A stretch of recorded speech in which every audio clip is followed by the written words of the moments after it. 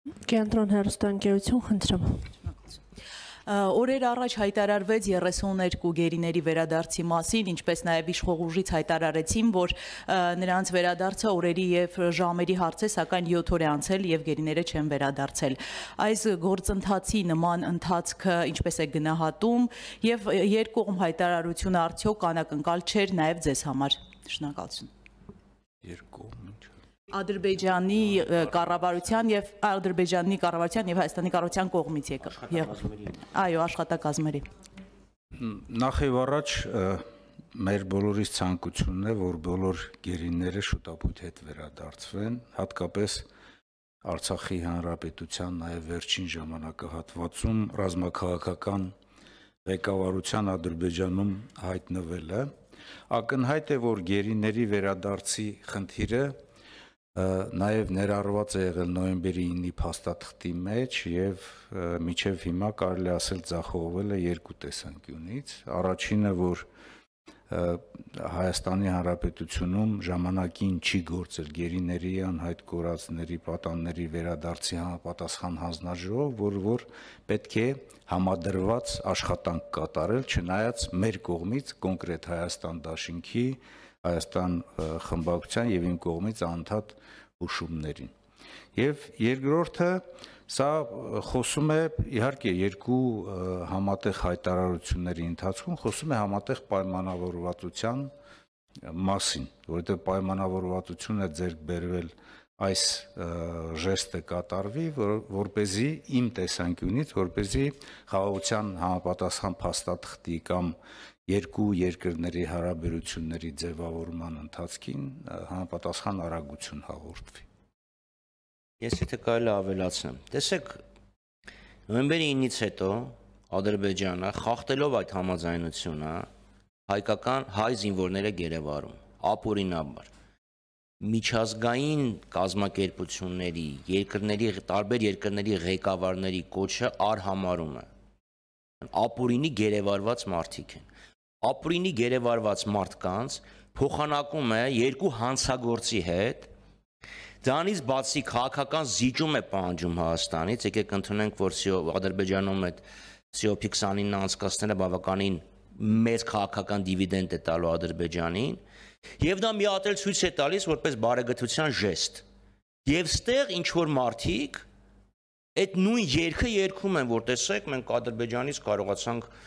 ժեստ փոխենք ադրբեջանը զիջման գնաց նշանակում մենք իրար հետ կարող ենք խաղաղությունել կնքել բայց այդ ձեր նշածը որ 7 օր է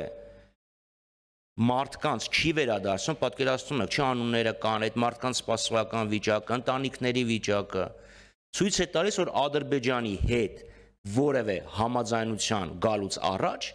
պետք է լինի այդ համաձայնության ապահովման երաշխիք երաշխիքների ինստիտուտ Որովհետև եթե նայեիք մինչև Նիկոլ Փաշինյանը բանակցվող փաստաթղթերում, կար այդ երաշխիքների ինստիտուտը։ Ստեղ չկա։ Եվ Ադրբեջանը պահանջում է տետատետ բանակցություններ, նաև որպիսի չլինի երաշխիք, որպիսի կարողանա խոսքը ցանկացած ձևով շրջել, այդ հարցում ինքն ու Փաշինյանը իրար շատ մոտ են, եւ չկարողանա որևէ մեկը իրան պարտադրել ստորագրած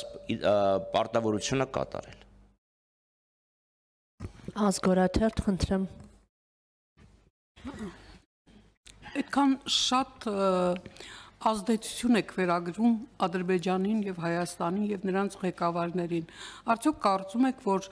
տարածաշրջանում դերակատարություն ունեցող պետությունների շահերը չեն արտացոլվում խաղաղության պայմանագրում եւ այս պահին այդ շահերը չեն բալանսավորված, այդ իմաստով գուցե եւ ձեր ասած ճնշումները, պարոն Մահանյան,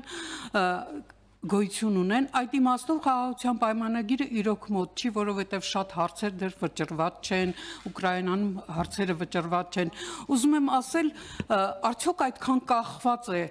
տեղական ղեկավարներից որ դուք այդքան մեծ կարևորություն եք տալիս մեկ եւ երկրորդ նույնից բխելով եթե այս դե ֆակտո վիճակում դուք լինեիք իշխանությունը այս պահին Որ քայլերը կանեիք, հերթով խնդրում եմ թվեք։ Միանշանակ տարածաշրջանային իրադարձությունների վրա ազդեցություն ունեն նաև աշխարհակաղակական զարգացումները եւ նաև ուժային կենտրոնների շահերը տարածաշրջանում ակնհայտ է, որ դրանք արտահայտում են եւ քաղաքական ազդեցության տեսանկյունից եւ անվտանգային եւ ամենակարևորը նաեւ տնտեսական շահերից տնտեսական շահերից ելնելով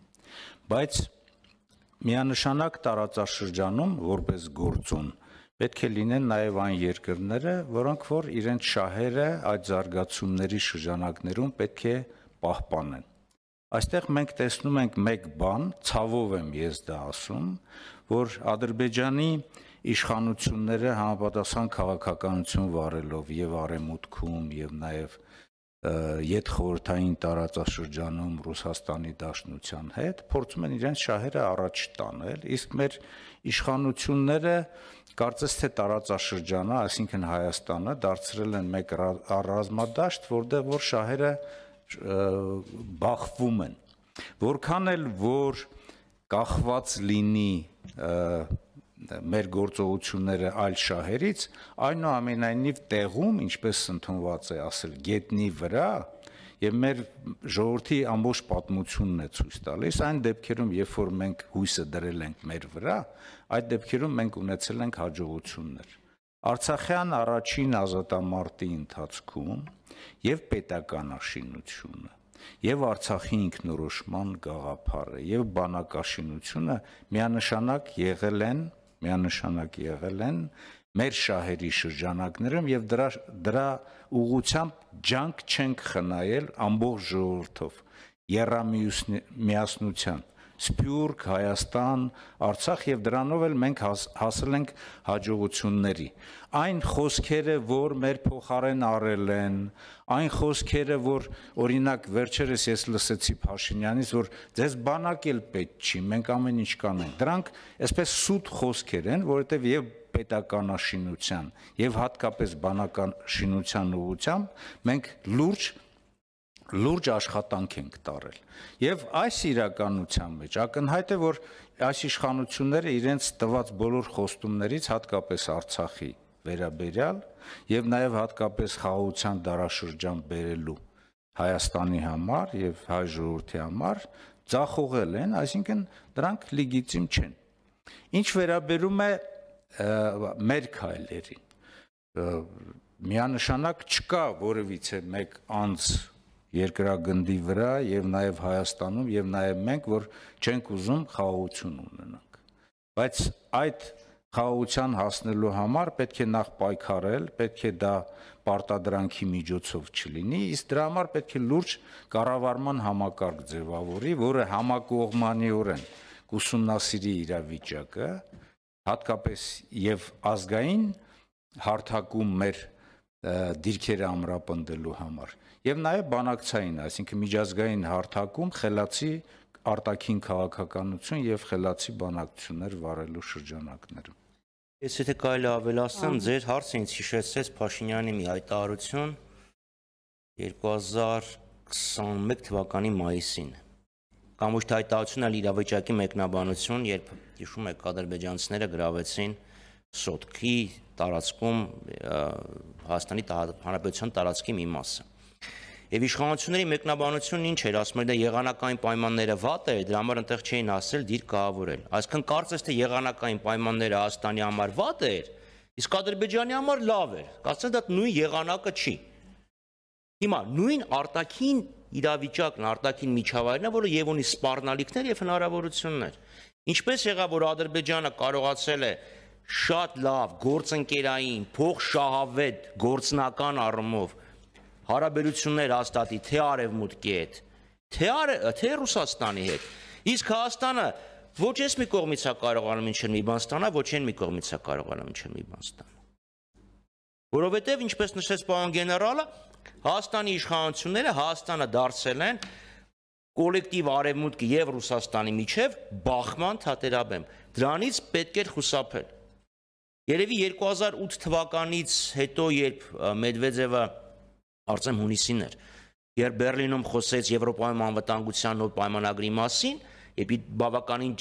տակացել էին հարաբերությունները։ Դրանից հետո 14 թվականից հետո Արևմուտքի եւ Ռուսաստանի միջև հարաբերությունները բավականաչափ լարված էին։ 20 թվականին, 18 թվականին լարված էին։ Բայց ինչպես մի կողմը կարողացավ դրանից շահի, մյուս կողմը կորցնի ամեն ինչ։ Հետևաբար արտաքին միջավայրը չի մեղավորը։ Մեղավորը քաղաքականություն վարողները երկրի ղեկավարներն են։ Գիտեք, Աստված չի մեղավոր, որ անձրև է գալիս։ Եթե հիվանդանամ, ես եմ մեղավոր, որ առանց անձրևանոցի եմ դուրս եկել փողոց։ Շնորհակալություն։ Շնորհակալություն։